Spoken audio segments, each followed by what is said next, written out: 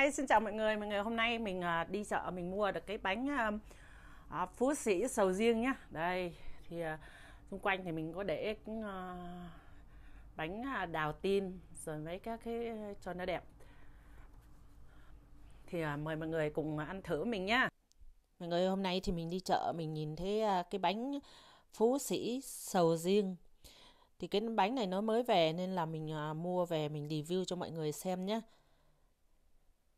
Đây. Đây là màu um, lá dứa nhé mọi người. Đấy. Thì bây giờ mình sẽ cắt ra rồi mình uh, mời mọi người cùng ăn thử với mình nhá. Mọi người cái bánh này thì um, có thể để trong tủ đá thể ăn được à, uh, 12 tháng nhé. Mà mình để ra ngoài khoảng uh, 2 tiếng thì mình à, giá đông ra là mình ăn nhé.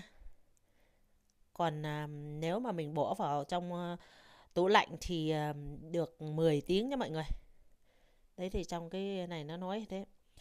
Thì mời mọi người hãy cùng à, thử ăn với mình nhá. Đây mọi người, cái bánh này đây. Thế bây giờ mình sẽ lấy cái dao mình à, cắt ra. Oh. Nghe mùi à, sầu riêng thơm. Đấy.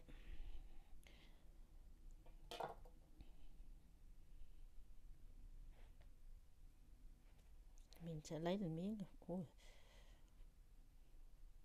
Đây mọi người thì mình à, thử nó lên coi. Wow. Đây mọi người. Mà. Đấy. Uhm. Cái um, cái lớp bánh ở trên đó thì nó dẻo xong có cái mùi dừa nữa mọi người. Hmm. Lần đầu tiên mình ăn sầu riêng mọi người. Uhm. thơm. Nó ngọt qua kem nữa. Uhm, uhm ngon mà cái bên Mỹ nó bán cái này tới 20 đô các bạn ạ 21 đô.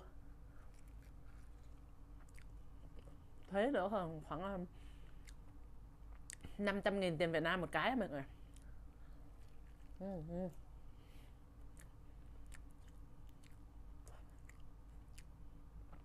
cái này là gọi là um, bánh um, phú sĩ hoặc là bánh à, sầu riêng ngàn lớp nhá. Ừ.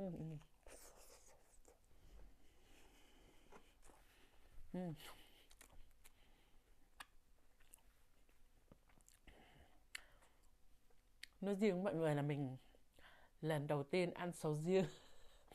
Nhưng mà ngon lắm mọi người ngày xưa mình nghe mùi là mình không có ăn không không không không có, không không không ăn được bây giờ lần đầu ừ, sáng mình đi mua chị bảo có ừ, em có ăn được sầu riêng không? Bảo không em không ăn được sầu riêng. Chứ mà nếu không ăn được sầu riêng thì đừng có mua. Mình bảo thôi. Thì mình cứ mua về để mình review cho mọi người. Coi mình uh, có ăn được không? Thế mà ăn ngon lắm mọi người.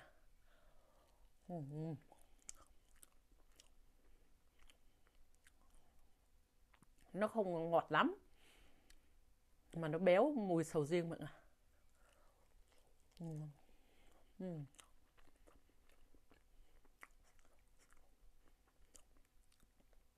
để trong tủ lạnh.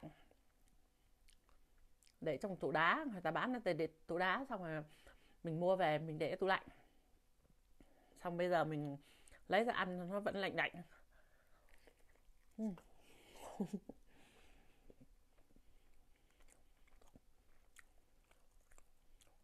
ngon mọi người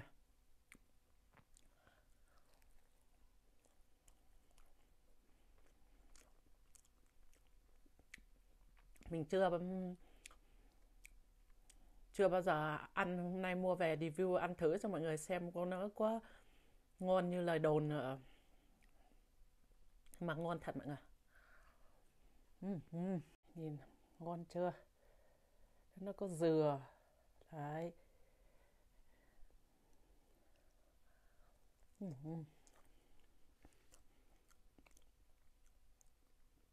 nó béo.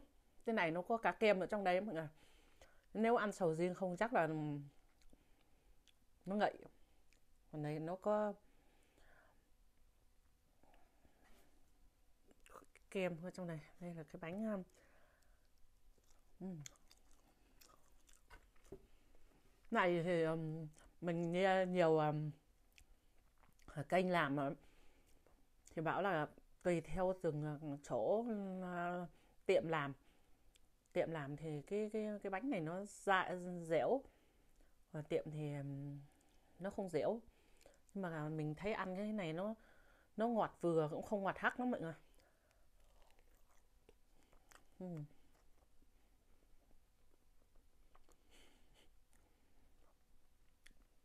wow.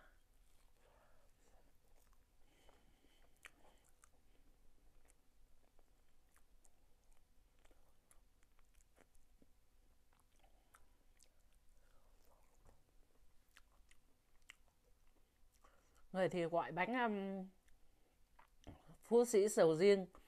Người thì gọi gọi bánh uh, sầu riêng ngàn lớp. Đấy.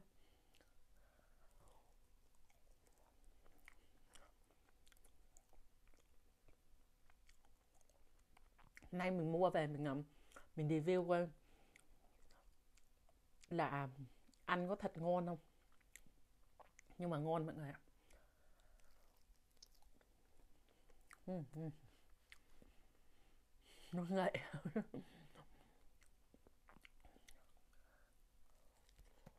ừ, ừ.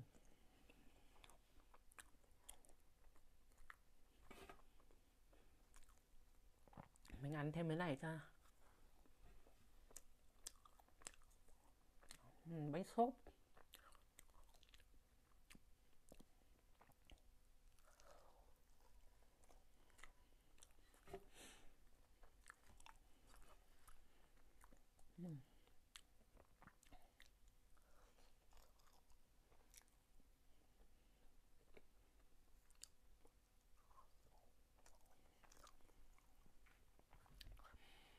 nó cũng có nhiều à, nhiều mùi lắm mọi người. Nhiều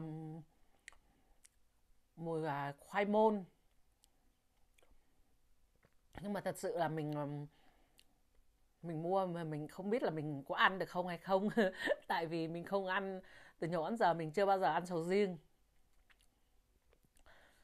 Thế nên là mình hỏi cái chị bán bán hàng mình bảo là chị chị chứ ừ, cái này nó có sầu riêng không ạ? Chị bảo nếu mà em không ăn được sầu riêng thì chắc uh, thôi đừng mua. Nhưng mà mình đi lượn đi lượn lại xong mình quay lại lại mình lại lấy. Mình mình bảo thôi mình cứ mua về mình thử coi nó là sao. Nhưng mà thật sự là lần đầu tiên mình ăn sầu riêng mà nó ngon thơm béo béo ngậy ngậy ở xung quanh nó là cái dừa mọi người. Đấy. Ngon. Mình sơi gần hết.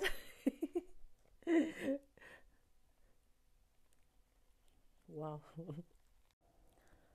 Thôi mọi người hãy cho mình tạm dừng video tại đây nhé. Một lần nữa mình cảm ơn mọi người rất nhiều đã xem hết video review bánh phú sĩ sầu riêng của mình nhé.